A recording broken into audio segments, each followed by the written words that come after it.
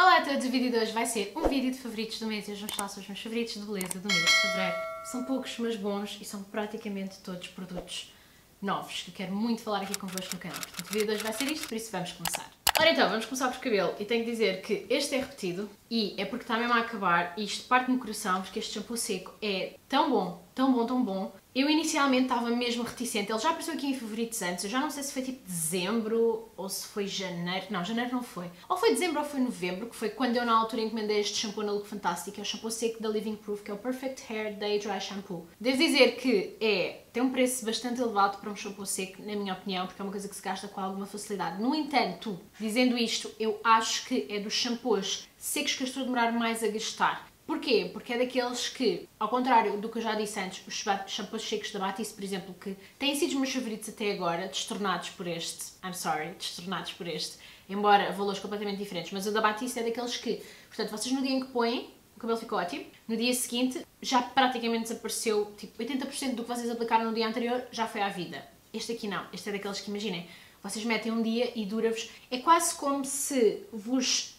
voltasse para trás no tempo em termos de prolongar mesmo a lavagem. Ou seja, enquanto o Batiste é um quick fix, é mesmo para, entre aspas, resolver o problema naquele momento, mas tipo, a longo prazo ardeu, ao fim do dia já está o cabelo um bocado meh, outra vez e no dia seguinte ardeu, ou lavam ou vão aplicar outra vez, mas depois já fica um bocado disgusting.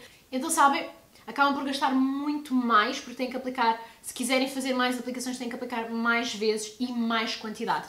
Este aqui, eu sinto que aplico menos quantidade, deixo-o atuar, portanto eu meto, imaginem, meto bastante assim nas zonas mais problemáticas, digamos assim, e deixo um minuto a atuar no cabelo sem mexer. Claro que ele fica branco. E depois, massagem com as mãos, e depois passa a escova e sai o resíduo todo. E a verdade é que o cabelo fica fresco e praticamente não se vê qualquer tipo de resíduo. E é muito mais fácil tirar o resíduo branco do shampoo, do shampoo seco deste aqui, versus tipo um Batista ou outros, na verdade, que eu já experimentei vários shampoos secos. E a verdade é que o cabelo fica mais dois ou três dias, portanto não fica só naquele momento ou naquele dia bem, fica mais dois ou três dias, prolonga-vos mesmo a lavagem. Portanto, não é para aquele momento, é tipo um, não é um remédio instantâneo, é uma cena a longo prazo e o shampoo é ótimo e o cheiro é maravilhoso. Ele tem tipo um cheiro tipo floral, e eu detesto cheiros florais, mas é tipo um floral bom, que eu não vos ajudei muito.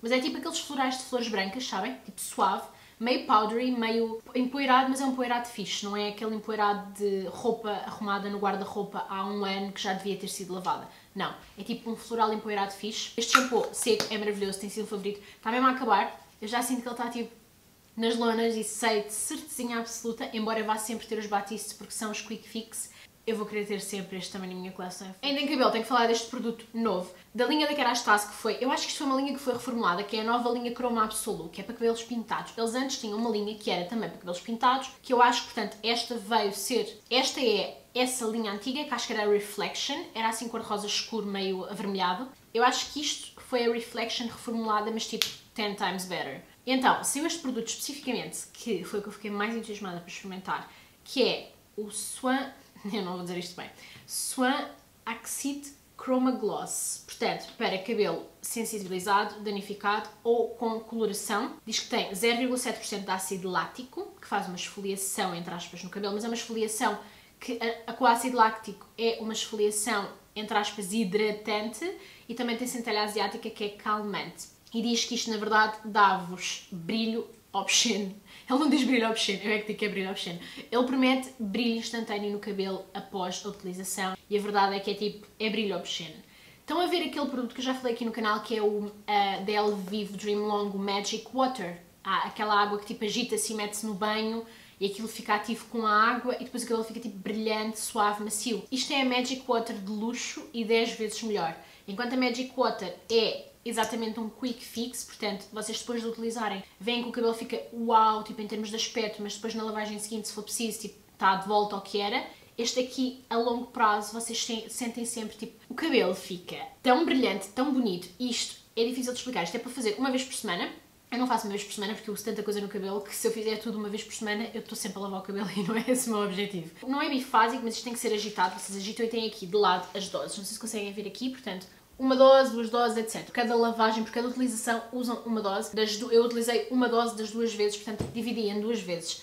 Meu Deus, eu não estou a conseguir falar, é porque é super tarde. Portanto, uma dose eu fiz duas utilizações e vocês vão dizer, Rita, já estava aparecendo nos favoritos, utilizaste duas vezes.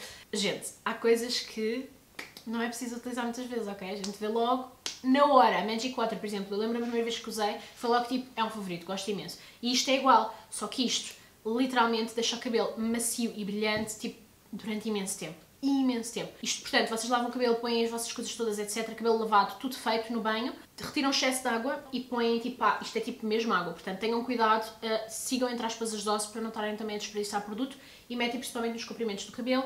E ele é suposto massajarem um bocado. Eu, eu fiz tipo assim o cabelo, que não é tipo muito fixe de se fazer porque o cabelo pode se partir, mas tipo o cabelo tem resistente, portanto eu fiz assim. E ele quase que, portanto, passa de água para meio creme em termos de textura, porque fica ativo com a água do banho. E é deixar tipo, eu deixei tipo um, dois minutos no cabelo e depois é retirar, tipo passar abundantemente por água, não lavar com mais nada nem nada.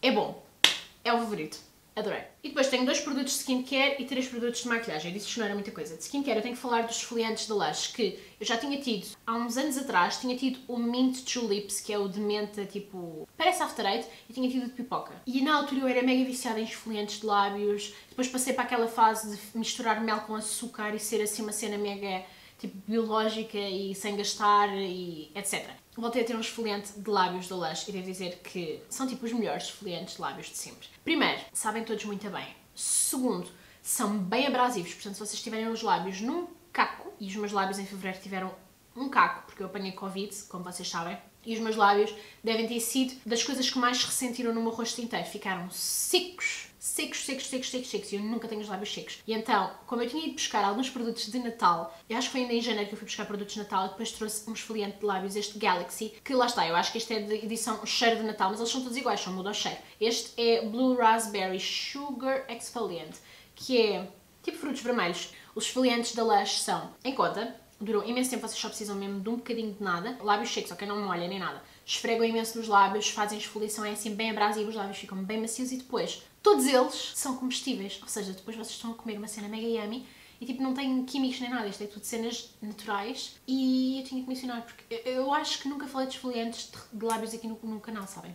Tenho ideia que nunca falei de esfoliantes de lábios aqui no canal. Já vos disse várias vezes que a maior parte das vezes, efetivamente, eu misturo tipo açúcar com mel, mas não é bem a mesma coisa em termos de abrasivo, porque o mel tem aquela, aquela cremosidade, não é? Aquela pegajosidade não sei se isto bem, mas pegajosidade, não é tão abrasivo como, por exemplo, este, que é quase, quase que parece tipo açúcar seco, rijo, grosso, que faz mesmo a esfoliação abrasiva nos lábios, mas sabe super bem. Podem comer e isto vai durar uma vida, porque eu lembro-me que o meu popcorn e o meu mint tulips duraram uma eternidade e então agora estou muito satisfeita. Obviamente, este Galaxy eu não sei se ainda há, porque foi de edição de Natal, mas literalmente todos os esfoliantes da Lush são iguais, são bons, sabem bem e fazem bem o seu trabalho. E por fim, antes passamos para os três produtos de maquilhagem, tenho que falar de um creme que vinha no Beauty Chest, que eu fiz aqui o unboxing na altura em dezembro e eu estava mortinha para experimentar. Na altura, quando eu fiz o unboxing, eu, eu lembro-me de ver os ingredientes deste creme e pensar, oh my god, fórmula em gel, tem ácido salicílico, era bom papel mista oleosa, textura leve, fresca, tipo água, sorbet,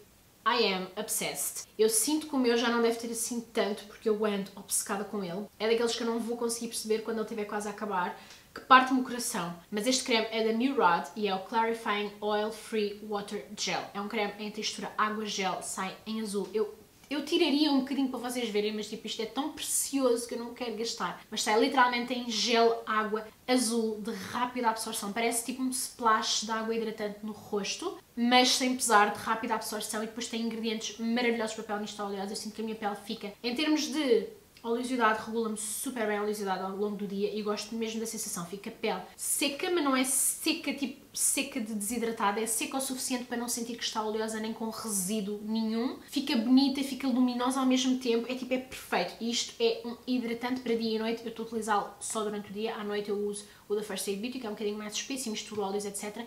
Mas este tem sido um hidratante de dia que eu tenho estado a adorar e está, tipo, está numa top 5 top 5. Yeah, está no meu top 5 de hidratantes favoritos para pele mista oleosa. Ok, por fim, tenho que falar de três produtos de maquilhagem. Um deles já devia ter aparecido nos favoritos de Beleza de Janeiro. Foi uma máscara de pestanas que, a quem disse Bernice, me enviou... Eu já não sei se foi no final de dezembro ou no início de janeiro que eles me enviaram isto e eu fiquei obcecada. Eu já gostava da Big Bang clássica. A Big Bang Push eu estou obcecada. Na altura até falei dela aqui, tipo, num vídeo de... Eu já não sei se foi primeiras impressões ou quem disse Bernice Full Face. Eu acho que foi quem disse Bernice Full Face Esta máscara de pestanas é absolutamente maravilhosa. Dá um volume intenso como a Big Bang clássica, mas ao mesmo tempo levanta-vos e curva-vos as pestanas e tem uma escova bem mais magrinha do que a Big Bang clássica que eu prefiro. É assim mais cônica e para quem tem olhos assim mais pequeninos e tem facilidade, entre aspas, em borrar aqui em cima tudo ao aplicar a máscara de pestanas com uma escova grandalhona, esta máscara é ótima. Dura super bem em termos de oleosidade, umidade, suor, etc. Não é à prova d'água, mas ela é muito, muito boa em termos de duração e é sem dúvida um favorito. Foi em janeiro, devia ter aparecido nos favoritos de janeiro porque eu em janeiro usei e abusei, foi, lá está,